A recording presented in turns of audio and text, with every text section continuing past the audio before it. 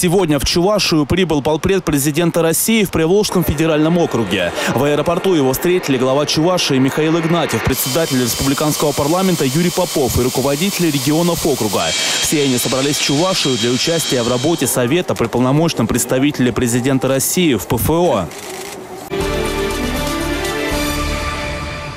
Вопрос обсуждался очень подробно, э, очень серьезно, глубоко были даны поручения по пролонгации программы по переселению граждан из ветхого аварийного жилья, в том числе, или прежде всего, этот вопрос был решен по просьбам глав субъектов, в силу того, что и соотношение в софинансировании, которое было предусмотрено, было далеко не в пользу субъектов, 70 на 30 предполагалось финансировать 70% за счет э, бюджетов субъектов федерации, только 30% софинансировал федеральный бюджет. Поэтому у меня просьба какая, чтобы мы сегодня все эти, так сказать, реперные точки для себя подняли, посмотрели еще, что нужно сделать.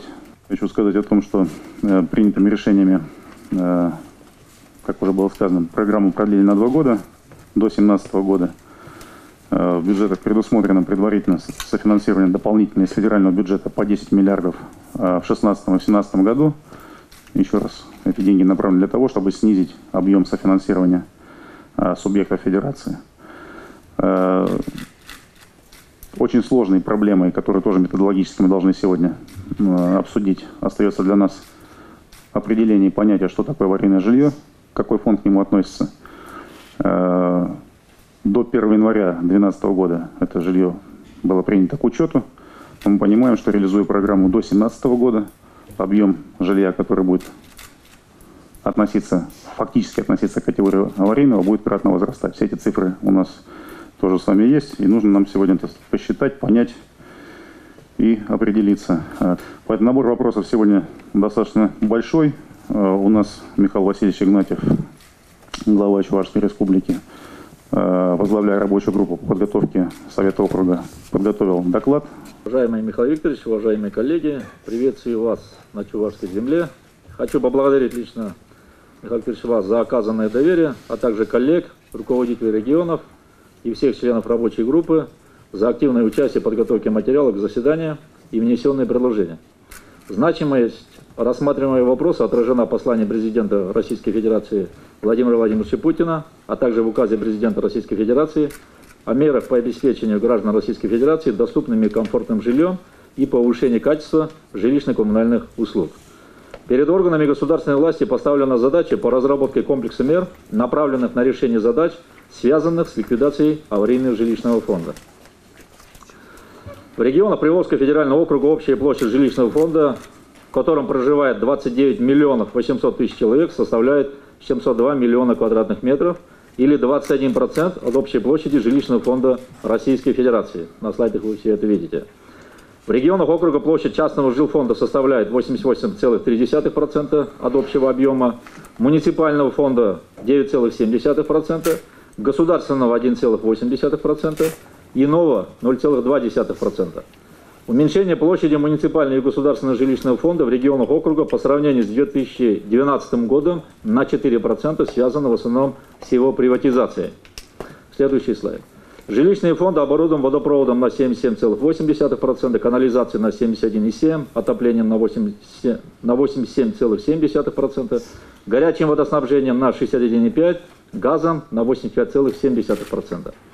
В округе расположено 618,5 тысяч многоквартирных домов общей площадью более чем 528 миллионов квадратных метров, что составляет 75% от общей площади жилищного фонда округа. Мы знаем, что у каждого региона свои особенности. Все это зависит от того, насколько в сельской местности население проживает в удельном весе. В целях эффективного контроля состояния жилищного фонда в ряде регионов округа внедряются государственные информационные системы мониторинга с применением систем автоматизации и паспортизации многоквартирных домов. Такие системы созданы в Республике Татарстан, Удмурской и Чувашской республиках, Нижегородской и Ульяновской областях.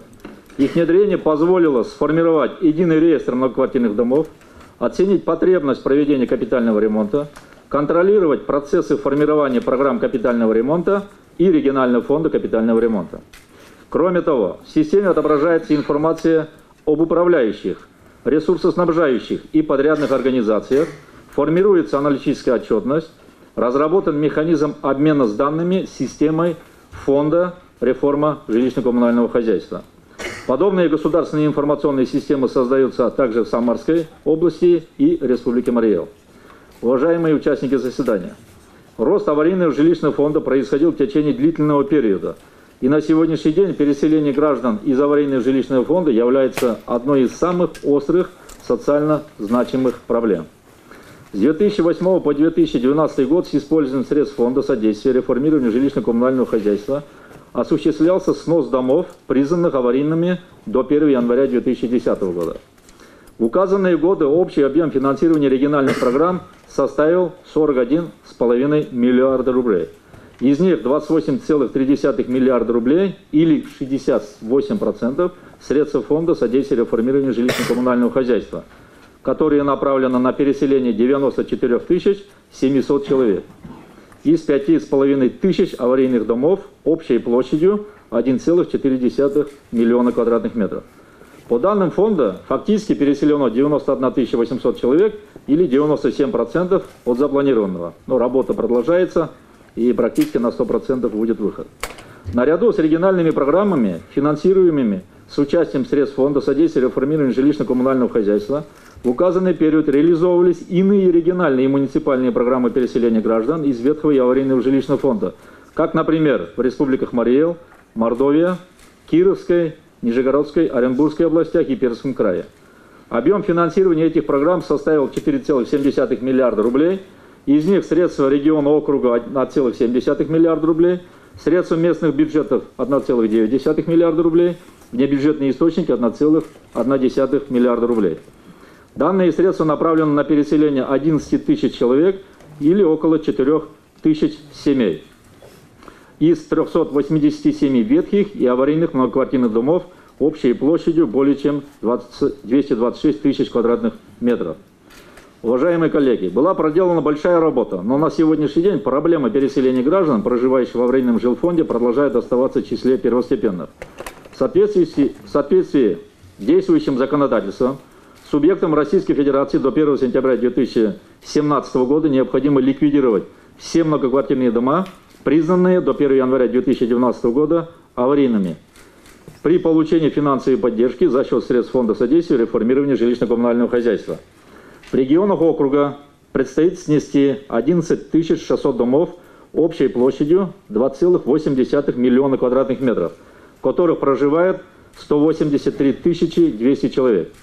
На эти цели необходимо почти 83 миллиарда рублей, и проблема финансирования мероприятий, связанных с переселением, пока остается сложной для решения. Фондом содействия реформированию жилищно-коммунального хозяйства планируется направить в регион округа около 35 миллиардов рублей. Исходя из общей потребности денежных средств и лимитов данного фонда, объем софинансирования программ из консолидированных бюджетов регионов округа должен составить 48 миллиардов рублей – в региональных бюджетах на эти цели предусмотрено 28,3 миллиарда рублей. Таким образом, с учетом уточнения площади аварийного жилья, дефицит финансовых средств составляет 22,5 миллиарда рублей или 26% от общей потребности из расчета переселения граждан метр-метр. Я это хочу подчеркнуть, потому что там разные вопросы возникают, как у жителей, так и толкование действующего законодательства – Следующий слайд. Кроме того, на начало 2013 года в округе числилось почти 14 тысяч аварийных многоквартирных домов, общей площадью 3,7 миллиона квадратных метров, в которых проживало более 250 тысяч человек. Между тем, в региональные программы включено только 12 тысяч домов, общей площадью 2,8 миллиона квадратных метров. И это означает, что 27% аварийного жилья, в котором проживает более 66 тысяч человек, не вошло в упомянутые региональные программы. С учетом возникающих обязательств по переселению этих граждан, дефицит средств на ликвидацию аварийного жилфонда вырастет более чем на 30 миллиардов рублей. При этом работа по уточнению площади аварийного жилищного фонда в регионах округа продолжается, и, следовательно, потребность финансовых средствах на его ликвидации будет увеличиваться. Средний объем софинансирования программ из консолидированных бюджетов регионов округа составляет 58,2%. Наибольшая доля приходится на Пермский край – и Республику Татарстан по 69%, Самарскую и Оренбургскую, соответственно, 68%, и 67%. Наименьшее на Республике Мариэл 44, Мордовия 45,5%. Для региональных бюджетов это очень большая нагрузка. Существует несколько вариантов снижения доли средств консолидированных бюджетов регионов округа на ликвидацию аварийного жилья. Один из них – предоставление земельных участков застройщикам под строительством многоквартирных домов для переселения граждан из аварийного жилья на безвозмездной основе, что позволит снизить стоимость строительства. Соответствующие изменения, позволяющие органы местного самоуправления делать это, внесены в федеральное законодательство в июле текущего года. В ряде регионов Приволжского федерального округа ведется работа по привлечению внебюджетных источников к расселению аварийного жилья. К примеру, в нашей республике со строительными организациями заключены соответствующие договора на развитие застроенной территории, в рамках которых строители взяли на себя обязательство в течение четырех лет за свой счет переселить более чем 300 человек из 17 аварийных домов. Еще одним вариантом решения снижения бюджетных затрат может стать заключение инвестиционных договоров на строительство многоквартирных домов, в соответствии с которыми часть жилых помещений будет передаваться в муниципальную собственность для переселения граждан из аварийного жилищного фонда. Также у регионов имеется возможность строительства жилья экономического класса на землях Федерального фонда содействия развитию жилищного строительства – в этом случае земельные участки фонда безвозмездно предоставляются лицам, предложившим минимальную цену продажи жилья экономического класса, при этом начальная цена одного квадратного метра жилого помещения при проведении аукциона должна соответствовать стоимости одного квадратного метра жилья, утверждаемым Минрегионом России. Граждане, проживающие в домах, признанных аварийными, имеют право на приобретение такого жилья. В июне текущего года в Пермском крае состоялся аукцион на земельный участок для строительства 250 квартир в двух домах общей площадью 12 тысяч квадратных метров. В третьем квартале текущего года планировалось проведение аукционов в Нижегородской и Саратовской областях, в четвертом квартале в Республике Татарстан, Удмурской республике, Кировской, Ульянской и Саратовской областях. Рабочая группа предлагает расширить зону применения голландских аукционов и распространить ее на земельные участки, находящиеся в собственности субъектов Российской Федерации, муниципальной собственности, государственная собственность, на которые не разграничена. Для этого необходимо внести изменения в законодательство Российской Федерации, предоставив право субъектам Российской Федерации и органам местного самоуправления проводить аукционы на право заключения договоров безвозмездного срочного пользования земельными участками, находящимися в государственной и муниципальной собственности для строительства жилья экономического класса. Для переселения граждан из аварийного жилищного фонда также возможно использование арендного жилья. Рынок такого жилья формируется в Мордовии, Татарстане, Чувашии и Самарской области. Конечно, по расходной части это как бы затратная часть, но, по крайней мере, в основном здесь э, пользуются этим жильем малообеспеченные семьи и работники бюджетной сферы. В нашей республике за последние пять лет построено 1830 квартир. Практически общий государственный жилищный фонд составляет 83,5 тысячи квадратных метров. Плата за наем в Государственном жилищном фонде по сравнению с ценами, которые складываются на потребительском рынке, она дешевле или ниже 2-2,5 раза в зависимости от муниципального образования. Данный проект пользуется большим спросом у населения. Нам предстоит решить очень сложную задачу. Ее сложность усугубляется еще и тем, что прирост объемов аварийного жилищного фонда продолжается то, что сказал Михаил Викторович в начале. В связи с этим хотелось бы затронуть важную тему, на которую обращают пристальное внимание коллеги в своих представленных материалах. И это необходимость решения вопросов расселения не только аварийного, но и ветхого жилья. Понятие ветхий, ветхий дом и аварийный дом нужно различать четко.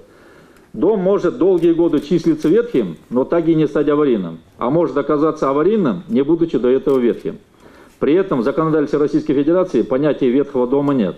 Тем не менее, оно широко используется в официальных статистических отчетах, в названиях различных региональных программ, часто упоминается в судебных актах. Социальные обязательства государства по отношению к населению, проживающему в ветхом жилищном фонде, не определены. Однако решать указанную проблему рано или поздно нам всем придется – по данным отчета, на территории Приволжского федерального округа расположено более 42 тысяч ветких многоквартирных домов общей площади 7 миллионов квадратных метров, в которых проживают 318,300 человек. 318 тысяч 300 человек. На ликвидацию или реконструкцию ветхого жилфонда ориентировочно потребуется почти 211 миллиардов рублей. Как отмечает в большинстве регионов округа, ряд проблемных вопросов, выявленных в результате реализации программ переселения граждан из аварийного жилищного фонда, требует комплексного подхода и принятия решений на федеральном уровне. Это в первую очередь проблемы, связанные с расселением домов барачного типа и бывших общежитий, которых общая площадь помещений составляет от 9 до 15 квадратных метров.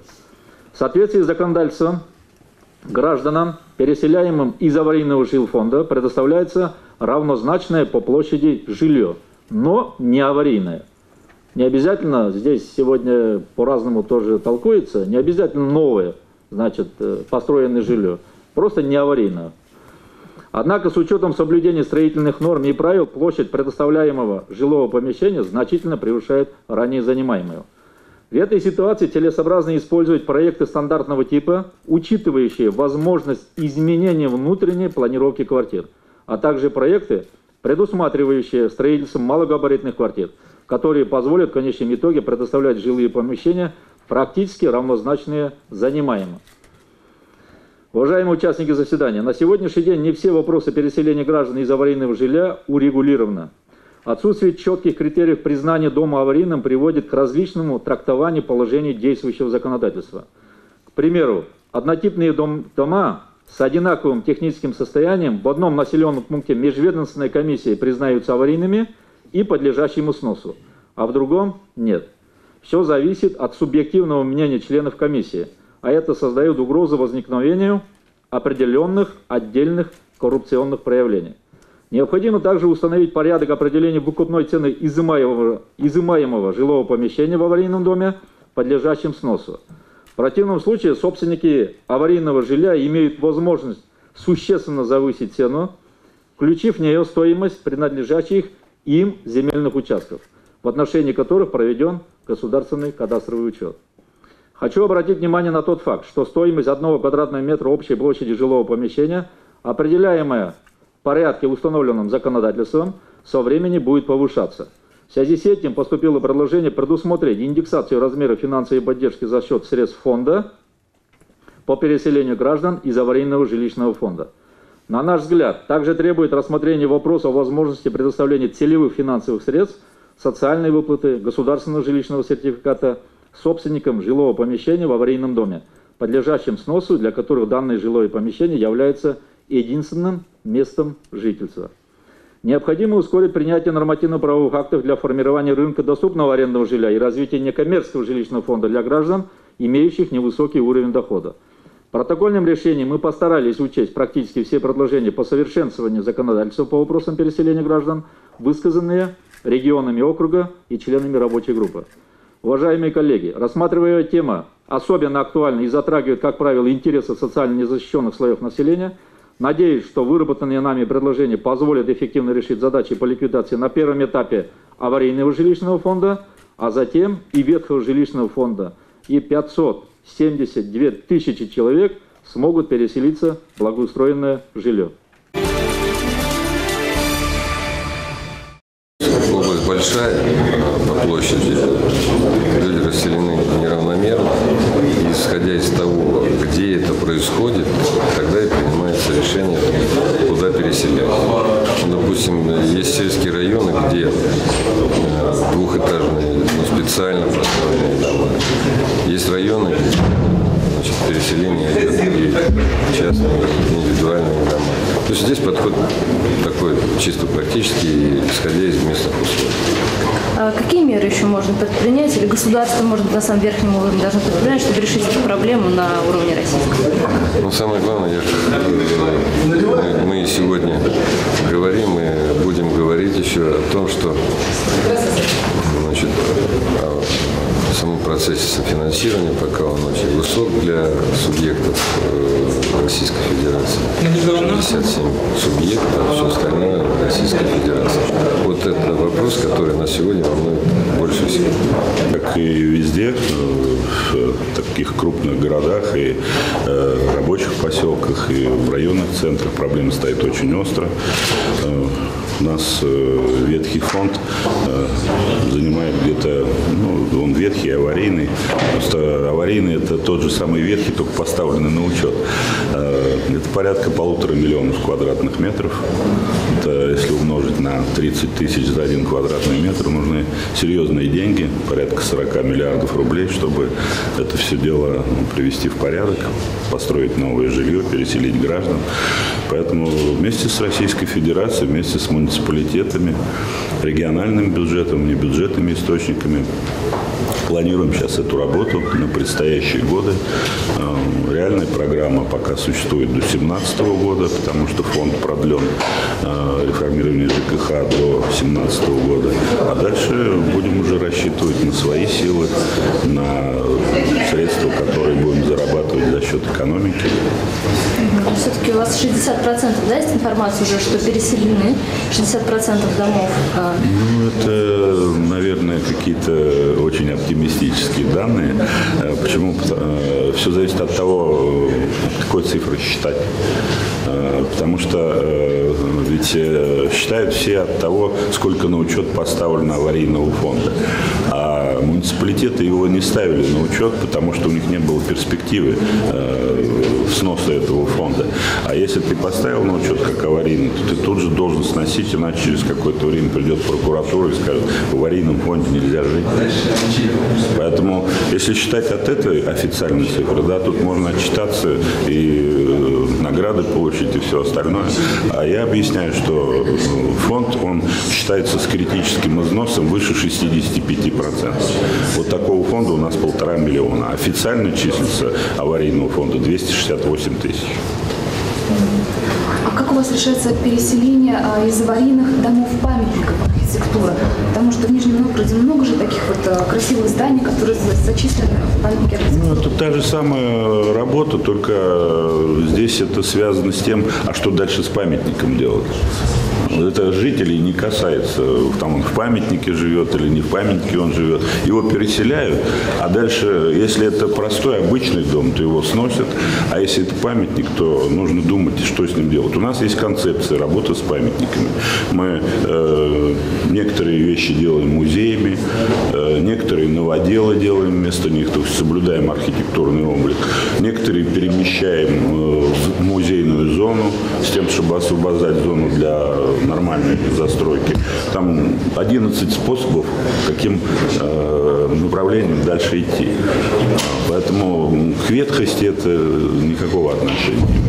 Дальше, если это э, для частных, ну, там, допустим, офис кто-то делает, он заключает охранный договор, э, проводит реконструкцию под себя и использует это здание.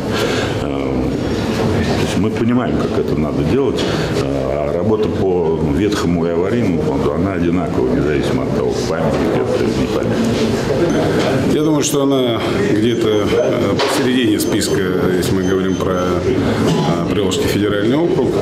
То есть сейчас задача, которая стоит э, на ближайшие это население порядка 90 тысяч метров жилья. Это то, что нам финансируется, собственно говоря, софинансируется федеральным бюджетом. Понятно, что проблема сама э, больше и шире, то есть мы понимаем, каким образом формировались списки и объемы э, необходимые к расселению. То есть, э, понятно, что э, власти долгое время не были заинтересованы в том, чтобы признавать жилье ветхим и аварийным, потому что как только его признаешь, сразу возникает обязательство с э, расселением из ветхого аварийного жилья, а при неизвестности источников финансирования, понятно, что как бы создавать дополнительные обязательства, значит, заинтересованность крайне сомнительная. Поэтому сейчас, когда хотя бы в части федеральных средств ситуация более-менее ясна, то есть мы надеемся, что этот процесс будет идти более быстрыми темпами, то есть и мы не ограничимся тем объемом 90 тысяч квадратных метров, по которым мы там софинансируем с, с федеральным бюджетом, то есть мы будем увеличивать уже за счет собственных средств.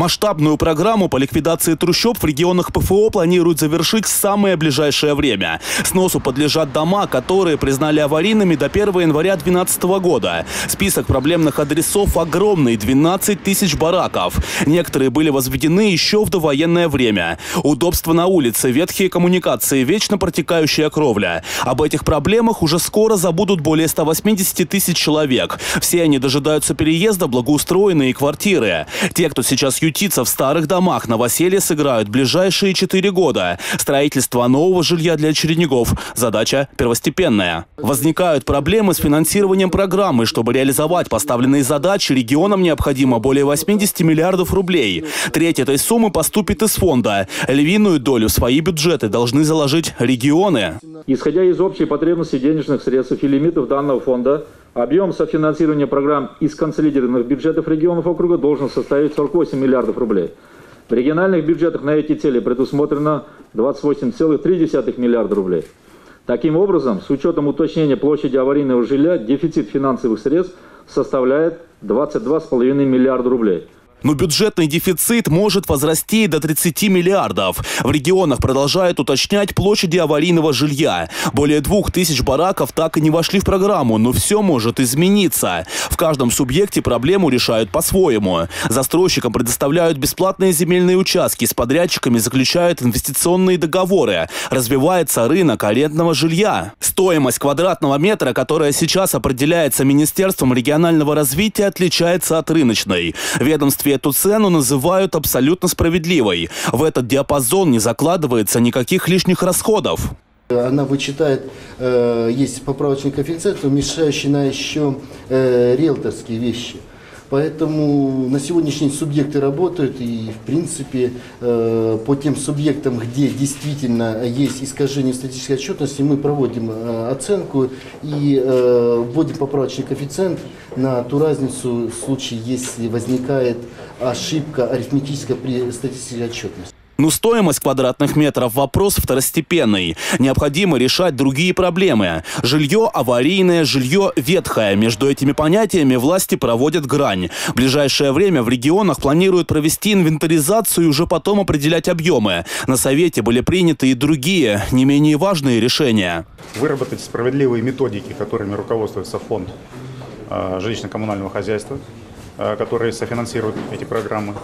И, соответственно, э, принять все меры для того, чтобы и земельные участки, э, которые сегодня находятся в обороте, были использованы для этих целей, как федеральные, так и в случае принятия соответствующего законопроекта региональные, муниципальные и неразграниченные, чтобы также были направлены в оборот для решения задач по расселению ветхого аварийного фонда. Э, надо посмотреть э, вопросы те категории граждан, кто подлежит обеспечению в первоочередном порядке, там, где действительно ситуация сегодня критическая, там, где есть опасность для жизни и здоровья людей, чтобы эти задачи решались в первую очередь. Предложения членов Совета в ближайшее время отправят на рассмотрение Федерального центра. Они лягут в основу новых документов, регламентирующих программы расселения из аварийного и ветхого жилья.